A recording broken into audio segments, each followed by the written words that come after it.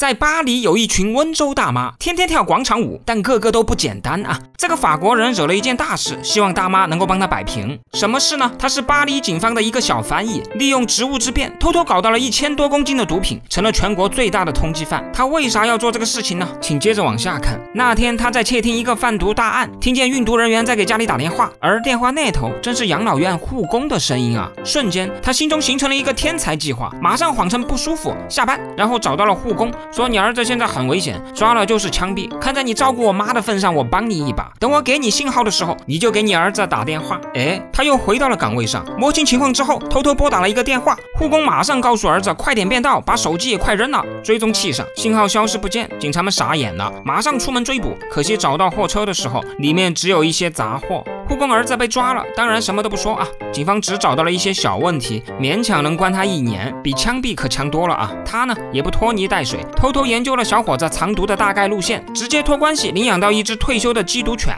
然后沿途找了过去。功夫不负有心人，小狗带他来到了一个地方，打开门，全部是一大包的那个啥，怎么办呢？直接拉回家啊！小车不够装，就开个面包车来。在刚刚拉完之后，正好和来找货的黑帮擦肩而过，黑帮扑了个空，好险呐！大妈回了家。里马上把自己打扮成了一个阿拉伯富商，开始寻找下家。在巴黎街头出现了一个中国的蛇皮口袋，里面装的可不是一般的东西，几十公斤的毒品。这个口袋是他在中国房东那儿买的，够大够结实。为了把这一千多公斤的毒品卖出去，他找了两个小混混做分销，不停的更换交易地点。为了便于联系，他还学会了一招，在游戏里和对方碰头，躲避警察的追踪。平时呢，正常到警察局上班，但其实啊，队长已经开始怀疑他了。为此，他使出了美人计，和队长谈起了恋爱，用爱情冲昏他的头脑。另外一边继续加速出货。为了隐蔽，他甚至把东西放进超市储物柜里，然后把钥匙粘在食品后面，让小混混来取。他很快成了全国最大的通缉犯，代号头巾大妈。天网恢恢，这天交易的时候，他们终于被警察盯上了。更不幸的是，黑帮也找到了他，真是走运啊！他马上打电话更改交易地点，拿到钱后直接开始飞奔，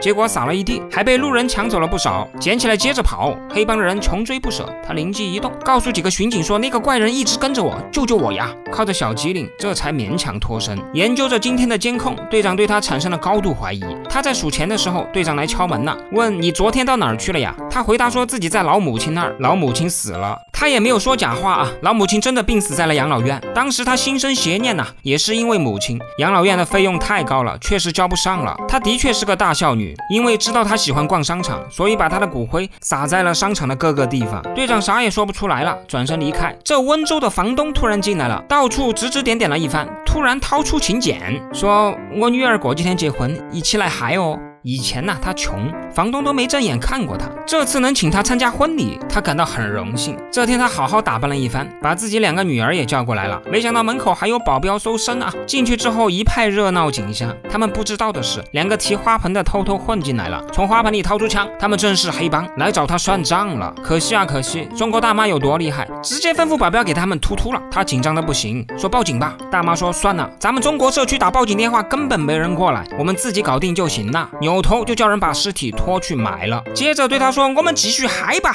毁尸灭迹啊！”他也是高兴坏了，直接把手枪当做结婚礼物送给了大妈。大妈语重心长的说：“你这个事情还是不要干了，放在咱们中国早就枪毙了一百回了，你还是金盆洗手，给我们温州人当翻译吧，我们一起去迪拜做生意。”温州大妈真是他的贵人啊！他按照对方出的主意，把剩下的四百多斤放了回去，然后给警察通风报信，成功将自己洗白，一代毒枭，从此成为温州人的。打工仔，我是曹操，明天见。